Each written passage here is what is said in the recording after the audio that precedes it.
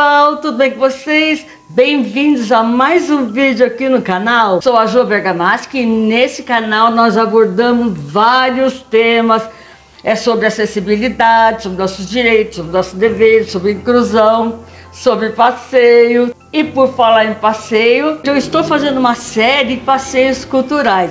Eu fui na Pinacoteca, eu fui no Jardim da Luz, eu fui na Estação da Luz e agora o Museu da Língua Portuguesa. Não perca esses passeios, tá, gente? E eu vou deixar tudo linkado aqui no box de informação. Pessoas com deficiência, esse acompanhante não paga nada. Olha aí, chegando no museu. Olha, e o Museu da Língua Portuguesa está novinho, porque ele foi restaurado, né, gente? Que em 2015 houve um incêndio. Agora ele está restaurado, magnífico para receber-nos. E além das exposições fixas, tem também as exposições temporárias. O Museu da Língua Portuguesa é um complexo lá na Estação da Luz, gente. Por que, que o Museu da Língua Portuguesa é lá na Estação da Luz? Simples. A Estação da Luz, gente, recebeu ao longo de sua história muitos migrantes que vieram de todo o país, vieram para São Paulo. São Paulo é um mix de línguas gastronomia, cultura desses povos que somos todos brasileiros. O Museu da Língua Portuguesa valoriza a diversidade das línguas. Aqui no Brasil, né, gente, é um mix de línguas internacionais e as nossas nacionais, os nossos migrantes. Quem de nós, que a nossa família não foi uma família de imigrantes? Conta aí nos comentários se a sua foi imigrante, se veio para São Paulo. A minha veio para São Paulo. Esse é um gaúcho da cadeira de rodas, tchê. Minha família é mineira, né?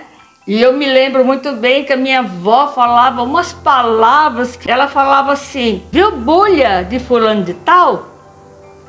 E outras palavras, se eu lembrar, eu vou colocar aí. Só que a minha avó, ela falava bulha errado, ela falava buia. Quem que não tem uma memória afetiva quando vê uma mala dessa? Estamos vendo a mistura de nossas línguas com a chegada dos imigrantes e também com a língua dos verdadeiros moradores do Brasil, os indígenas. Um magnífico colar e a sua dona poderosa. E na igreja da Idade Média entendia-se que o surdo não tinha salvação.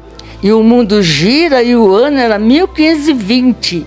E nasce na Espanha Pedro Ponce de León. E é ele quem desenvolve o alfabeto manual da língua gestual de sinais francesa e que deu origem ao que usamos hoje no Brasil. É muito grande, é imenso. Esse corredor aí que eu estou do lado chama Rua das Línguas e tem 106 metros. Cada pilaça daquela tem uma língua.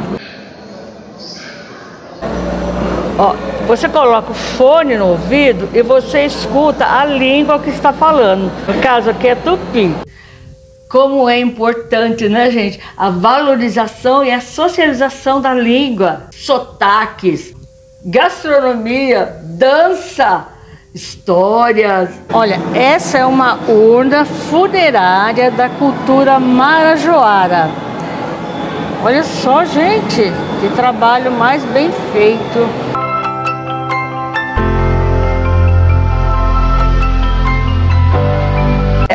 É muita informação, gente, sobre a comunidade indígena aqui do Brasil vale a pena vir e, olha, ver tudo.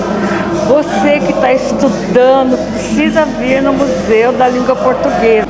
Quem nunca veio ao museu, venha. Possível, com muita acessibilidade, eu gostei muito. O museu está todo tecnológico e colorido, maravilhoso. E ele vem com mais recursos de acessibilidade para todos para mobilidade reduzida, deficiências físicas, é, com deficiência visual, auditiva, está todo equipado para receber todas essas pessoas, gente. Rota acessível, pisos táteis e sinalizações táteis em braille.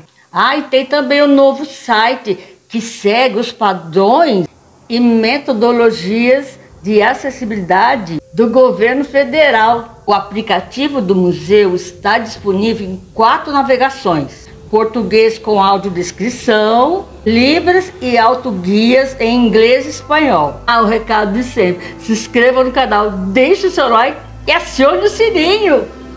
Assim você não perde nada. Me siga no Instagram, arroba Inclusiva. As pessoas com deficiência hoje estão olhando o mundo como ele deve ser visto, cheio de oportunidades.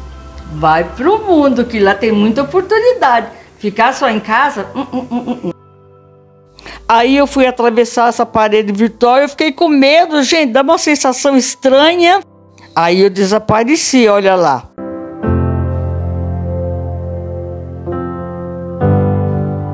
Esses passeios culturais é, nos faz refletir sobre a nossa origem, é, quem somos, de onde viemos, quem são nossos ancestrais, nossos antepassados. Então, vão fazer esses passeios culturais sim. É, chegue lá com um olhar bem crítico, vão aberto e receba toda essa informação que a cultura pode trazer. Eu vou confessar, eu nunca tinha visitado ainda. Na verdade, eu, eu, nem sei que impressão que eu fazia. Mas depois eu conheci, nossa, minha impressão foi muito positiva. Eu não fazia ideia de como era lá dentro. Ó, tem, tem os andares, tudo com elevador, maravilhoso. E eu gravei o banheiro também, vocês vão ver. Eu não filmei tudo porque não dá, né, gente? Mas também vocês têm que ir, né, para ver pessoalmente. Tem também, ó, para leitura para cegos, né? Esse banheiro não é tão ruim. Dá para fazer uma manobra com a cadeira. O ideal de barras seriam barras móveis nas laterais.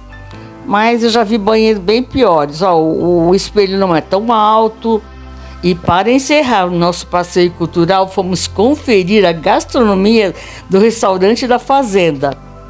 E eu, como apreciadora de doces, imaginem, né?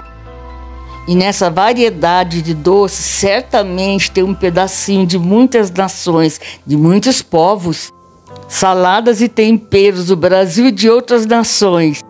Cultura para mim é isso, compartilhar e adquirir conhecimentos. Quem de nós nunca falou, me passa a receita? E olha aí os meus acompanhantes, a Sabrina e o Ellison Bergamaschi. Muito obrigado pela companhia. E você ficou até aqui comigo? Muito obrigado, gratidão pela sua companhia aqui comigo. Lembrando sempre, hein? Tudo que eu falo nos meus vídeos são experiências da minha vida. Nada é regra, mas pode ser uma dica. E aproveite e compartilhe esse vídeo.